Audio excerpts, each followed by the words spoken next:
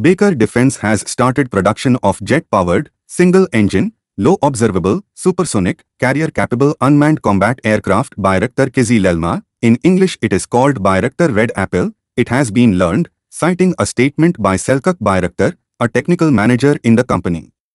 Bigger and more agile fish entered the production line after three and a half years of development. This is an unmanned combat aircraft Bayraktar Kızılelma. He is already on the road, stay tuned, said Selçuk Bayraktar. Along with the rapid development of technology, it is predicted that future air battles will be fought with drones in the doctrines of defense, which are changing more rapidly with each passing day.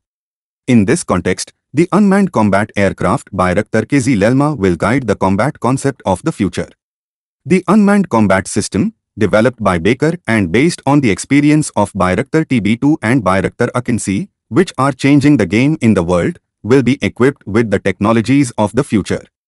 Bayraktar Kızılelma, which will be able to land and take off on short runways of aircraft carrier, such as the TCG Anadolu, which Turkey has built and is currently conducting cruise tests, will play an important role in overseas missions.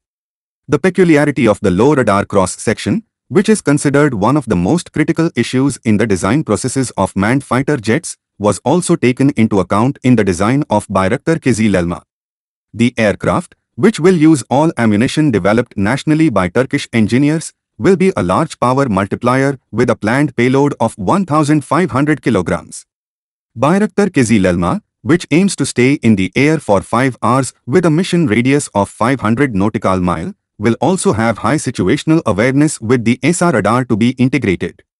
Baykar, which has made Turkey one of the few countries that can develop offensive unmanned aerial vehicles by developing the Bayraktar Akinci and Bayraktar TB2, aims to conduct Bayraktar Kızılelma's first flight test in 2023.